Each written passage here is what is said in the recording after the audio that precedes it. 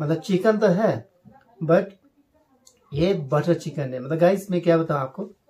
आप किसी दिन अगर आप ट्राई करोगे ना तो आपको पता चल जाएगा कि how much tasty it is really it is very very tasty मतलब इतना डिलीशियस है ना गाइस मतलब इसको सीखने के लिए आज, हमारे यहाँ में मेरे जो होम मिनिस्टर है, उन्होंने लगभग टू थाउज़ेंड खर्च किया।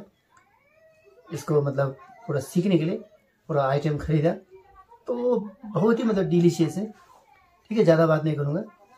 तो चलिए तो मेरे साथ मेरे साथ क्या मैं तो खा रहा हूँ।